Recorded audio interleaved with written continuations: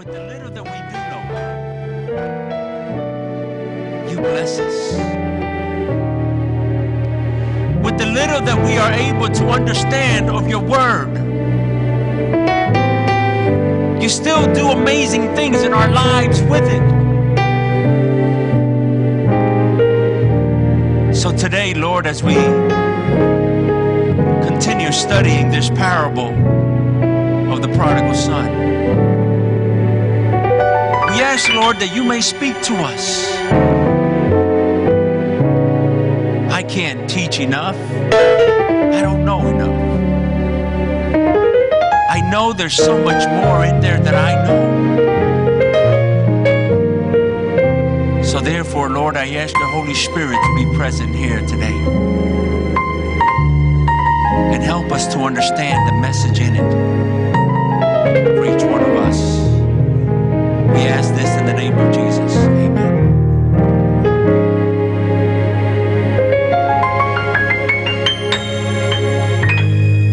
I'd like to congratulate our mothers here again, as uh, we have already. But we'd like to thank each uh, mother here for everything you've done. We've all have amazing mothers, and those of you that are here today, may God bless you and continue giving you the patience that you need and the love for your children to bring them up in the way that God wants you to bring them up.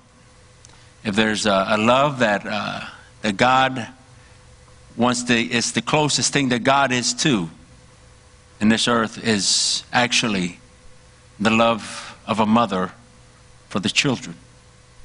So again, we'd like to congratulate you and tell each husband here or daughter and son or sons to make tomorrow uh, your mother's, make it tomorrow's day a special day for your mother that uh, go out, sacrifice, do whatever you have to do, but make it special and let her know how, how special she is. We'd like to thank each one of you, especially all the support that you have given us. As you've, we've started together, get together here last Saturday, you've seen all this equipment that we have, everything that we've bought. And all of this has been because of your faithful giving. It hasn't come from anywhere else has come from, from your giving and the soundboard we have back there, the, uh, the, the video uh, that we were able to take, uh, uh all this equipment that we, we have to be able to provide good church, it is because of your giving. And uh, we, we thank you so much for your, for your faithful giving so that that way we can continue to give this kind of service, to create a place that you can come to once a week and bring your family to and, and, and come and, and come together to meet God. Come together to meet God so that, that you separate yourself from everything else and your children can come to learn about God and you can come and enjoy this service. And those of you that have, that have been giving, we, we thank you so much uh, because you have helped for everyone to provide. You provided for everyone here a good service. You provided ways for us to be able to do this. As you notice that here we don't have an offering time. We don't pass the plate. We have uh, two boxes there in the back where, and we have some envelopes. You can either put uh, money in there or you can put it inside the envelope and tell us how you want it to, to be used. Uh, so as you, as you leave today, as any time you can, if, you feel that God moves you to do that, uh, please do that, and we'll be grateful. And, and the gospel will continue to, to be preached. The gospel will be able to, to reach other people as we are here. That is our purpose. We're here to create a place where we can invite the community, where we can invite others to come and experience God and ex- uh, by experiencing God, their, their families can get better. They can, they can be a better marriage. They can be better parents. The children to provide a place uh, where your children can grow up correctly. Because, you know, as you, as you get older, as you begin to have children, you find out how much help you need to bring up children. That a lot of times it's not just you. You need a church. You need a church environment. You need different things to be able to bring up our youth, to bring up our, our young people. So we'd like to thank each one of you that has uh, already cooperated for this and has, has, has done this in such a, a grateful way. And I want you to just notice that these, all these things we've been able to provide so that you, we can have good church here. We're going to continue today with uh, our, our theme that we have been, we started last, last Saturday, from riches to rags. And we looked at Luke chapter 15, the, and we're concentrating on the parable of the prodigal son. One of the most powerful par- uh, uh, parables that we read in the scriptures. A parable where, where it's trying to tell us how much God loves us, how patient God is with humanity. And, and, and every time I study this parable, and, and, as I was preparing it and studying it this week, uh, you know, I had something already prepared, uh, but as I, I sat down by myself this, uh, th- th- this week, I have the, this place here in, in, in town that I go to, in a sort of a place I'm secluded almost by myself. And, and, I go in there, I pull out my computer, and I began to study. I began to see uh, something else. I began to see uh, something more than I had than I had seen before. And that is the the the, the amazing thing about about scriptures is that you can study the Bible for, for months. You can study the Bible for years. You can study and know one parable for, for a long time. And yet you go into it and you pray and you begin to go into it and you find something complete that will just blow your mind. Something you never seen before. And that's why the scriptures is just so exciting. It's so exciting to study. It's so exciting to read. Let us put you into the context of this parable. And the context of this parable in Luke chapter 15, it is a context where Jesus is surrounded by publicans who were sinners. We studied last week and we saw who publicans were. They were actually people who had betrayed their own nation, the Jewish nation, and they would collect taxes from their own people by the, from the Romans, and then they would give it to the Romans, and the Romans would give them a cut of those taxes. So therefore, the Jews saw them as traitors. They saw them as sinners. They were usually people that were not very religious. They were just very money hungry people, and, and, and they were not looked at as good people. They were rejected by everyone else. And in fact, people thought they rejected them with good reason. With good reason, they rejected. I mean, do you have people in this world that you think that we can reject with good reason? I mean, do, we, do you think of people in society that we think God won't have a problem if I reject them?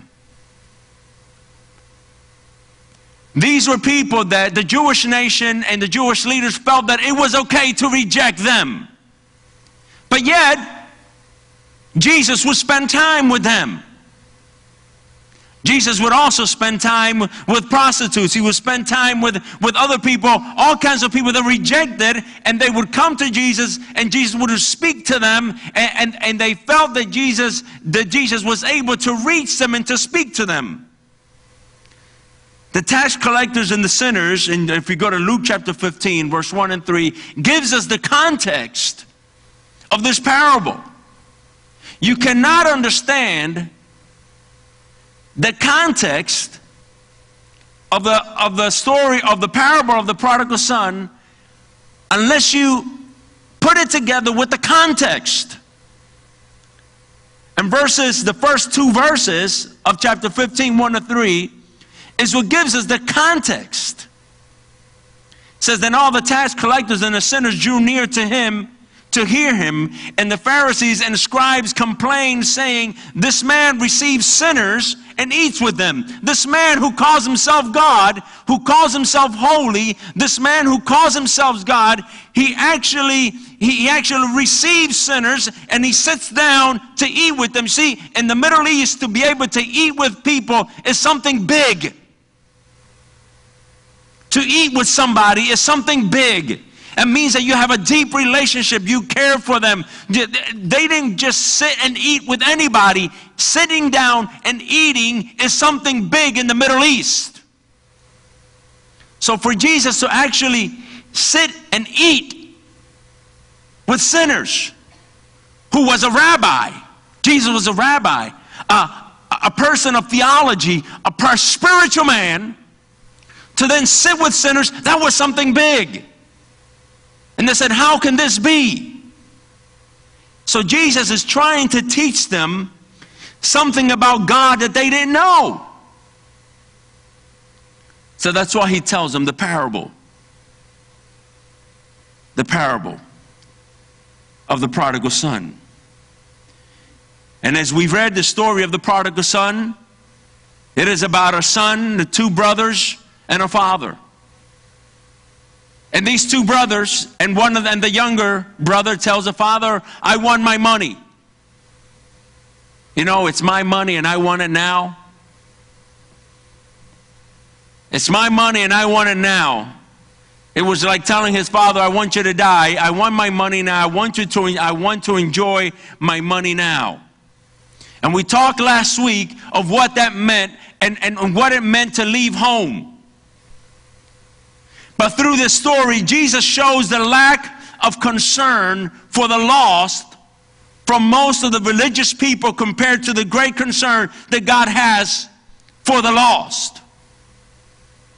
Jesus wanted to show them how they that were so religious were concerned so little about those who didn't know God. But yet at the same time, he wanted to show them how concerned God is for those who don't know him. There is an inconsistency in Christianity when people go through extremes to be holy, to sanctify their own lives, but yet feel they have nothing to do when it comes to helping another person. There's people who will go in the woods and they will hide in the country and they will do stuff. They will go through all kinds of stuff to look for their own salvation, for their own holiness, but yet will not do anything to reach somebody else for Jesus. There is a contradiction there. There is a problem there because God wants to tell people that it's not just about you, it's about others too. So there is an inconsistency when Christians try to look for their own salvation, for their own holiness, without looking at who else needs God.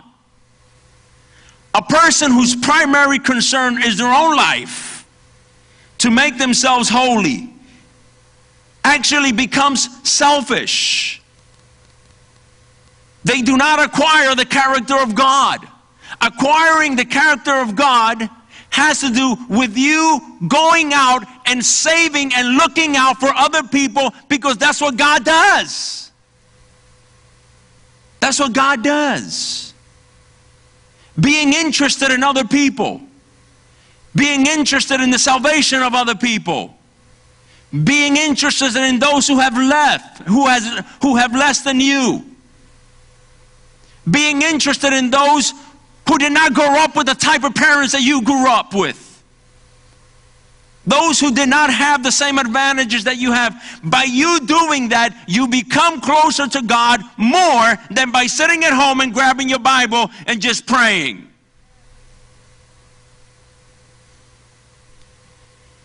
Jesus wanted to show them that worrying about the well being of others, caring for the disobedient, loving those who have strayed away from God is part of the character of God.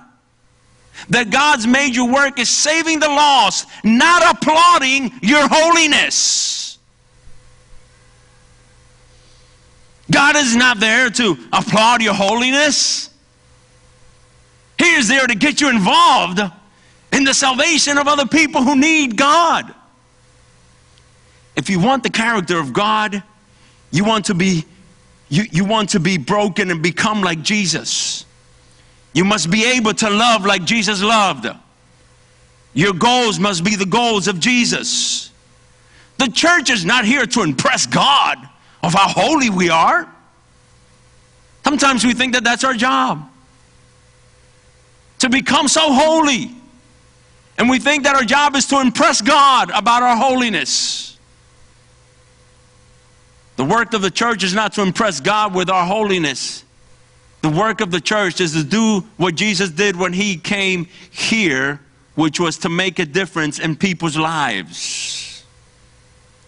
Jesus did not spend much time in the temple, but he sure spent a lot of time feeding people, healing people, making a difference in people's lives, and especially spend time with those that everyone else rejected. But you see, sometimes we believe that we have it all together and that we're the ones who have it all together. Have you ever seen the people, whoever, have you had somebody that oh, they're constantly counseling others? You can't talk to them about anything because the minute you bring up a little subject, they know about it and they're going to counsel you on it. They're not going to talk to you about it because they always have to take the side of the conversation where they are going to tell you how it is. You do that once or twice, and you never again talk to that person about a problem in your life, right? Never again. Because most of the time you know what to do. And you need a listening ear, but all of a sudden this person comes off as if they have it all together. What happens, there are some people say, Why is it that I never have friends? And it's because sometimes we come off as if we have it all together, you know, and, and anytime somebody comes to us, they're like, oh, okay, well, I better go somewhere else. This person has it all together. Jesus wasn't like that. He was able to listen to people. And we make a mistake when we think that we have it all together for people because really none of us has it all together. But the idea of always counseling somebody else makes them think that we have it all together when inside we know we don't. We're just covering up. In fact, those people are better off than we are because they're actually open about their problems and we're not.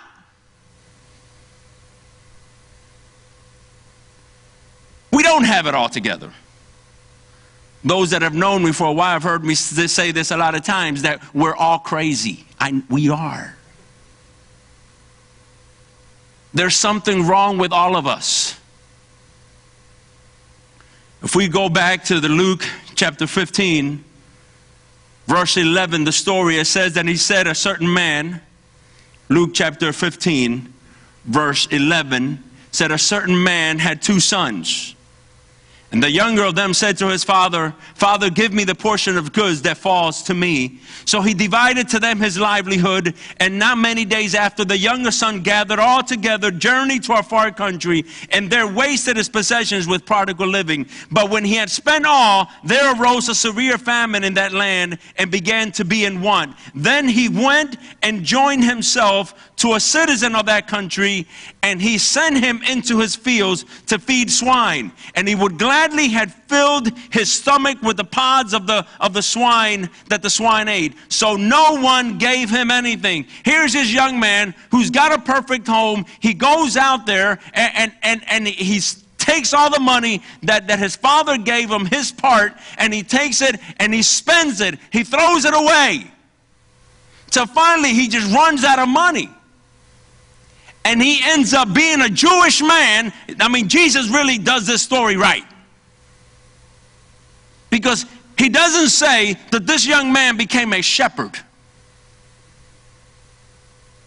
He told them that he, he, the story goes that he went to take care of pigs, one of the worst thing that a Jewish person can ever do. And that's where Jesus puts him. Last week we talked about him leaving home. Now he's already left home. Now, a question that I asked myself as I read this is why would this young man leave home? He had it made. His father was a millionaire. His father was a good spiritual man. His father didn't beat him or anything. In fact, he's a perfect, you know, God is really in the story. God is the father. He is perfect. Why would anyone leave? Why would any, this young man leave that type of situation where everything is perfect? Well, probably the same reason why you and I have left God in the past, right? Why you and I have chosen the wrong way. See, in this story, I want you to see yourself in it. The sermon is not for somebody else, it's for you. We, we sometimes tend to judge other people. But we have all made bad decisions. One of the problems that humanity has is that there is a need of us to be like other people. We want to be like other people. People say, well, I don't follow anybody, I'm myself. You're full of it. You just don't follow certain people, but you follow somebody else. We like to be like other people. And this young man probably wanted to be like his friends. And, and we have all failed in that area where we all feel that we need to be, we need to be with, with somebody else. We all need to be like someone else. We all, we want to look alike. We want to do things that others do. Most of all we, uh, uh, of us are not rational human beings, believe me. Sin has affected our decision making process more than we think. Humans make the weirdest decisions. I mean, come on, look back in your life. And you can see that you've made the weirdest decisions without even knowing why you made them. And the thing is that we look at that and we look at our own decision, it helps us to be compassionate about the decisions that other people have made that might not be the best. And a lot of times we human beings, we're not compassionate to one another. We think that we have it all together. And we don't think about the decisions that we've made. And we need to be compassionate with others as they also have made bad decisions. They did a study in the, in, in, in the 1950s by uh, a psychologist, uh, Solomon Asch. And the study was that they, they took some lines, they draw some lines, and they said, uh, here are three lines okay? All the same size. And they took them to another spot with another group of lines and said, in that group of lines, I need you to pick one line that is exactly the length of that line. There was line, one line that was clearly exactly the length of the other three lines. But when they went in the room to pick that line, there was a group of people there who knew what was going on. And that group of people actually picked another line that was completely wrong. 75 of the people went along with the line that was completely wrong just because the other people told them to. And you say, wow, that's, that's crazy. I wouldn't do that.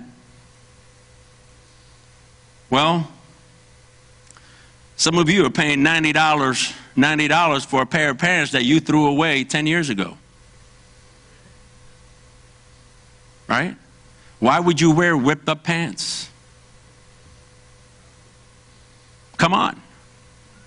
Why would you wear pants that are ripped up that 10 years ago you would have thrown them away, but now you go to the store and you spend $90 for them? Because everybody else is doing it. That's why.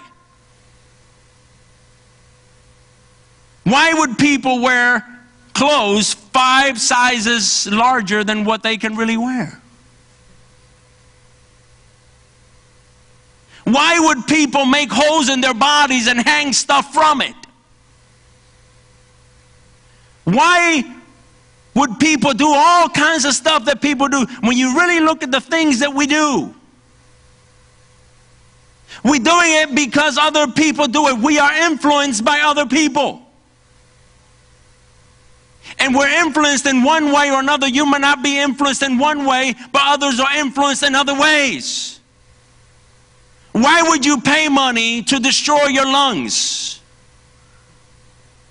Why would you take alcohol, put a little bit of taste in it, and actually put alcohol in your body that ruins your, your, your, your, your liver and, and your brain cells? Why would anybody do that? Because it's the style, it's what people do. I'm not trying to make everyone and anyone here feel bad for, for these things. What I'm trying to say is be compassionate with people who make wrong decisions because, in one way or another, you are also making bad decisions yourself. You don't have it all together as you might think you do. And Jesus is trying through this story,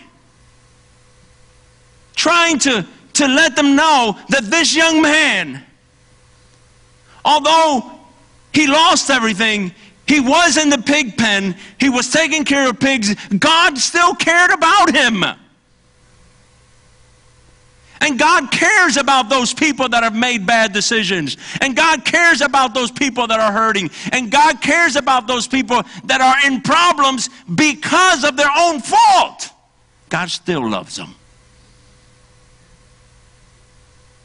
And He still cares about them.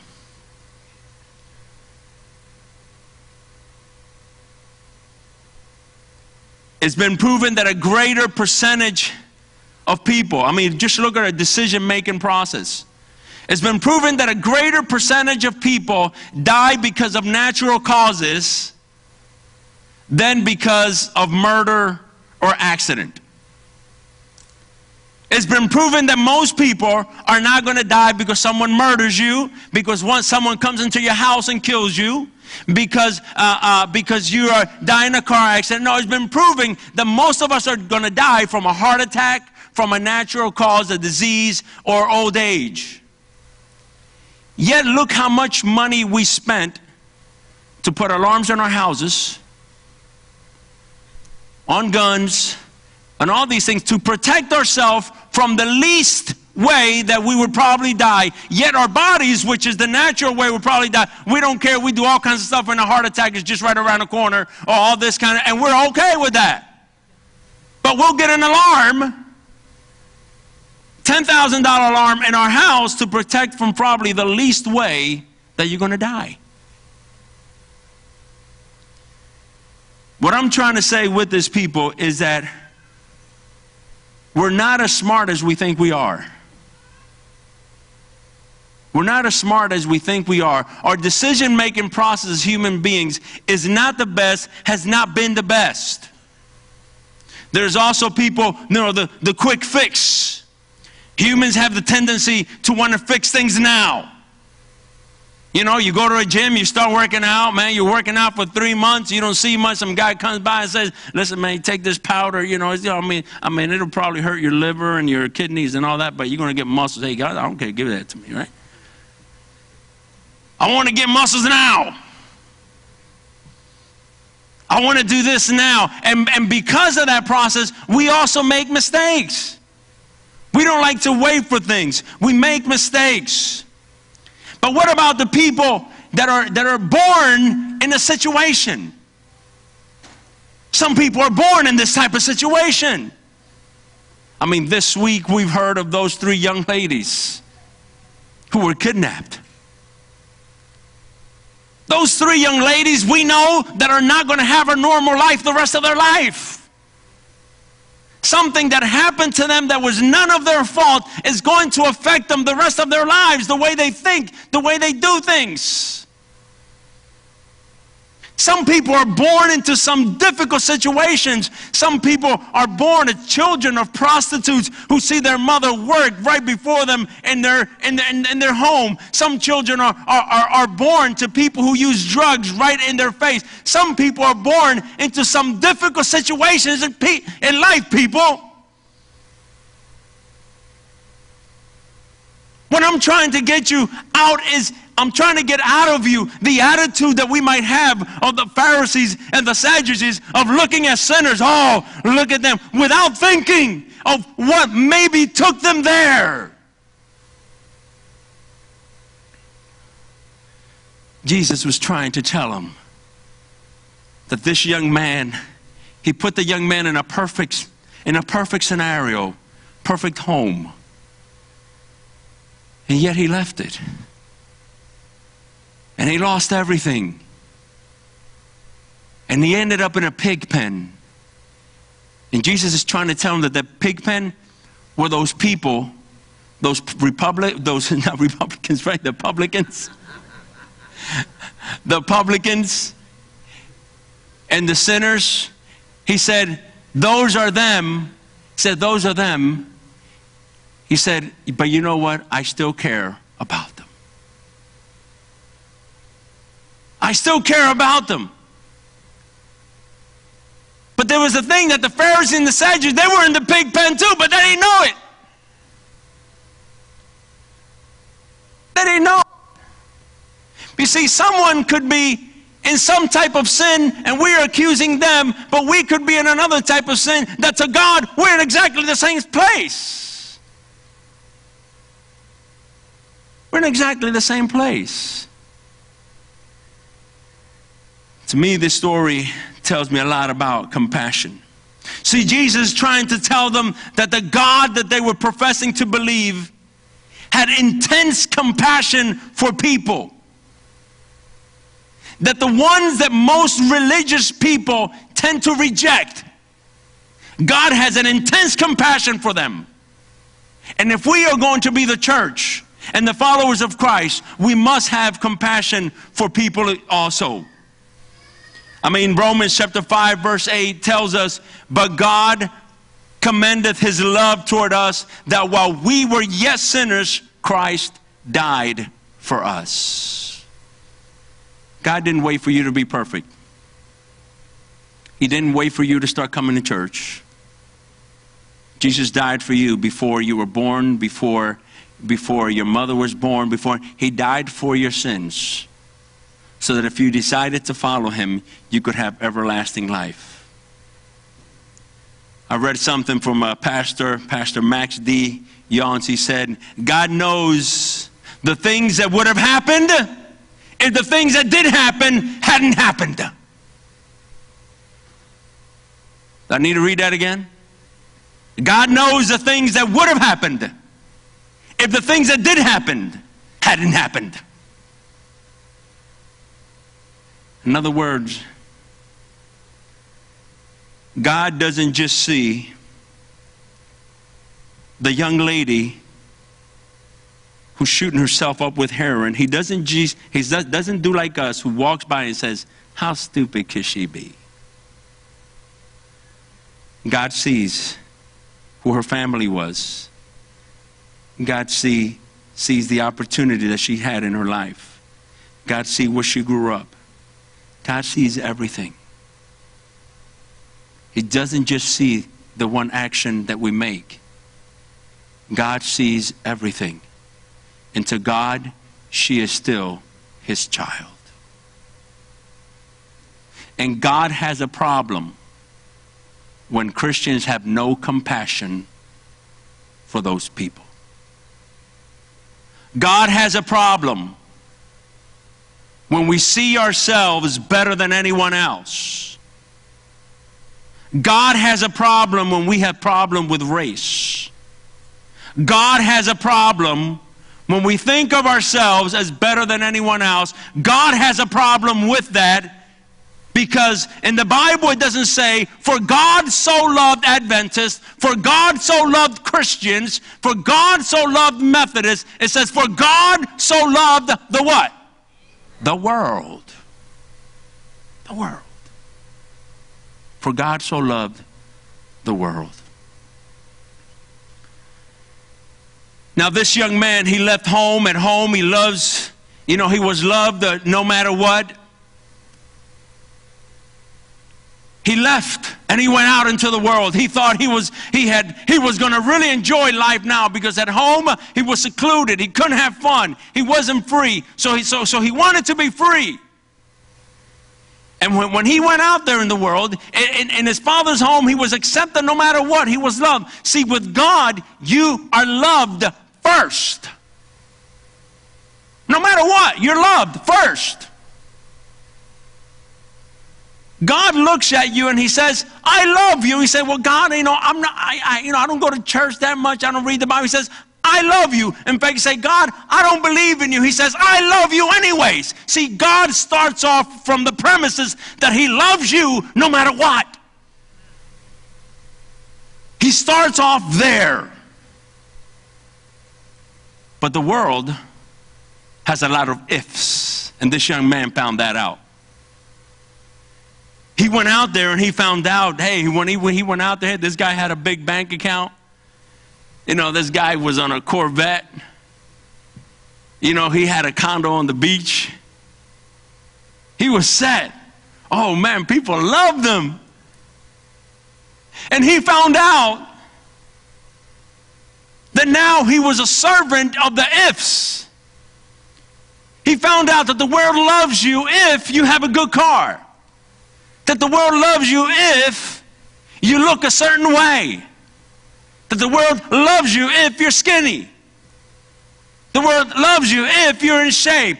The world loves you if you have money. The world loves you if you have an education. The world loves you if you talk a certain way. The world loves you if you look a certain way. So he found out that the world had all these ifs. At home, he didn't have any ifs. The Father loved them, period.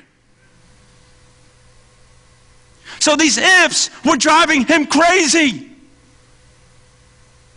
All this money had to go to provide these ifs.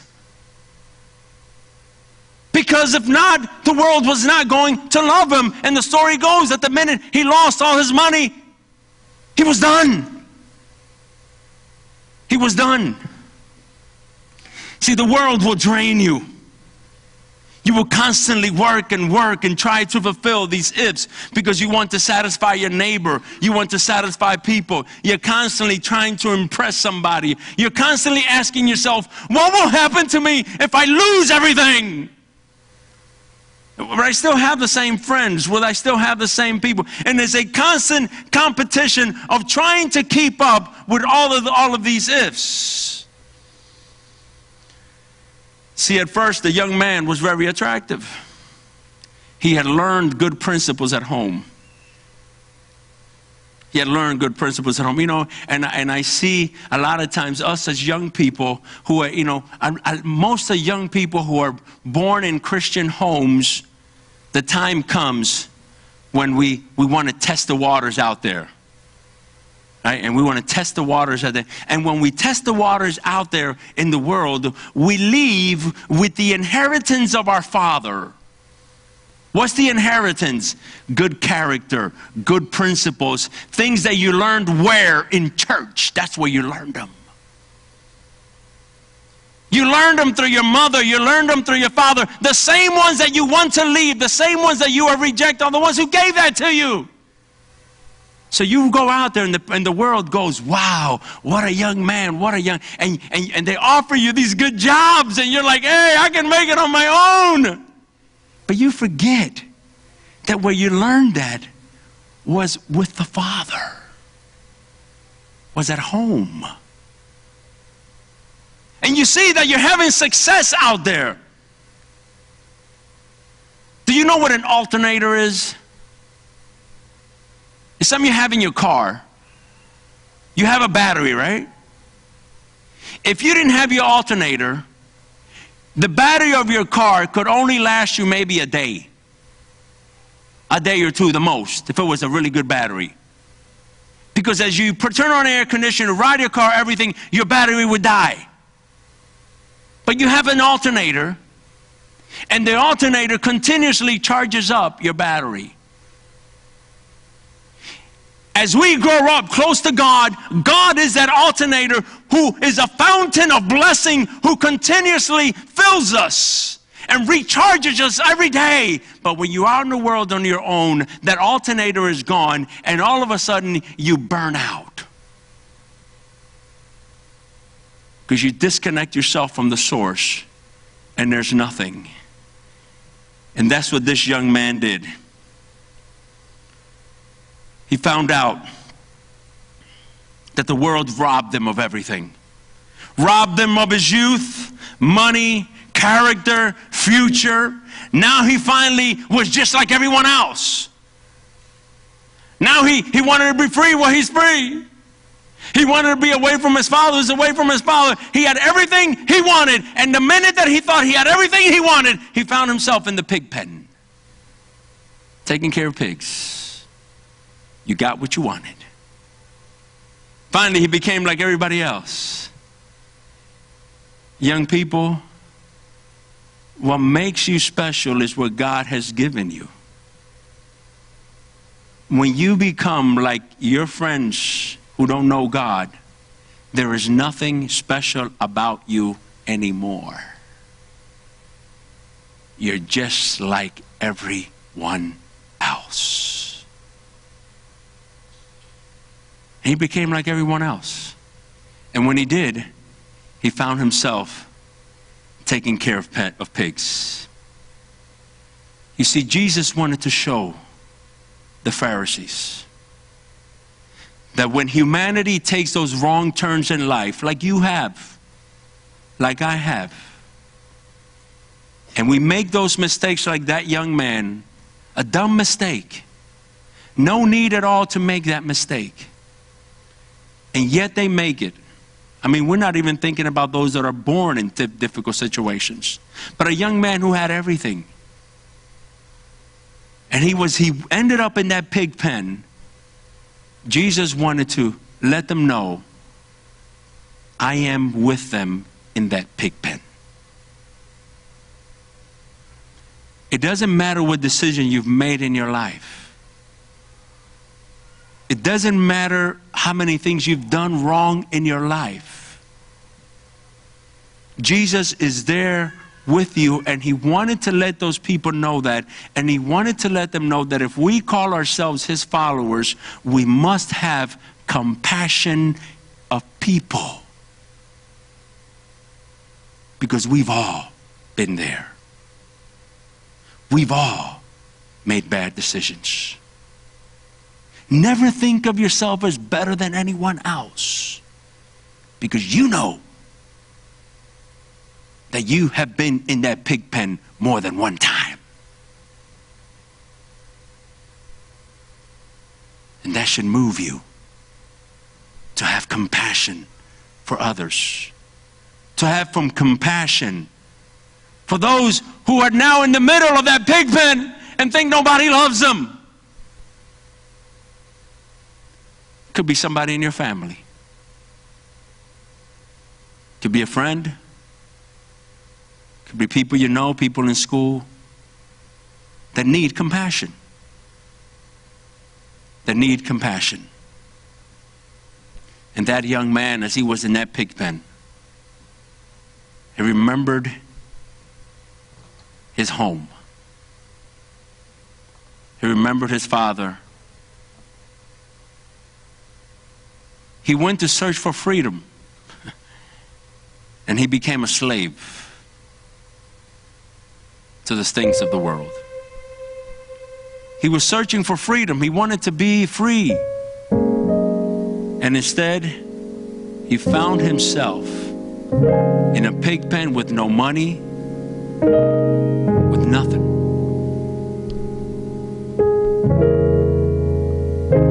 But Jesus wanted to let them know that like those publicans and those sinners that they said that he was he ate with them he wanted to tell them they might be in the pig pen now. But you know what? I don't stand in a palace and tell them to come. I go with them in in the pig pen. And i bring them out of the pig pen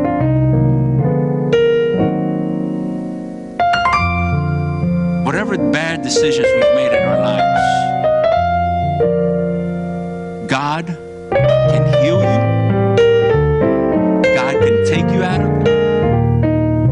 In fact, God knew that you were going to do that. Your bad decisions are not a surprise to God. They don't surprise God. One day you do something wrong, God is say, Oh my God, I didn't know you would do that. It's incredible how it happens. We don't understand it all. But if God, if God is God, He knew.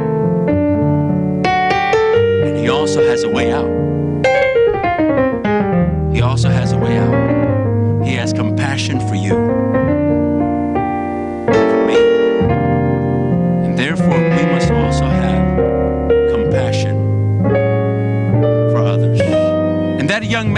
Was there, he began to think about home.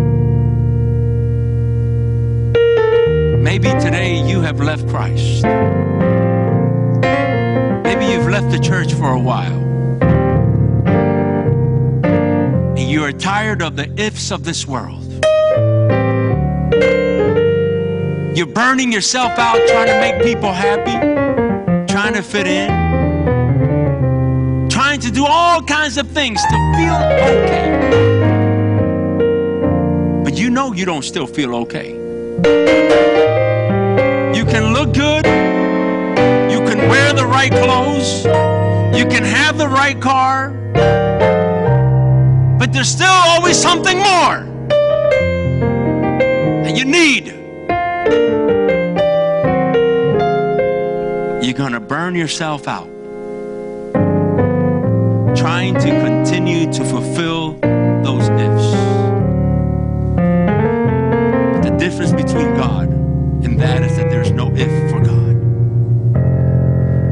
He loves you from the moment you come to Him, no matter what. There are no ifs for God. I want you to listen to the song. This is one of the most powerful hymns that I have heard. And I want you that as you listen to this, I just want you to close your eyes. And if you rather have Jesus, if you rather leave everything aside, and if today you feel the desire that you rather have Jesus more than anything in this world, that you want besides Jesus, then that's okay. You're not there yet. You still need to spend some time in the pig pen. You need to eat a little bit of that food that the pigs were eating. And that's okay. But if you're tired of the ifs of this world, and you say, I'd rather have Jesus,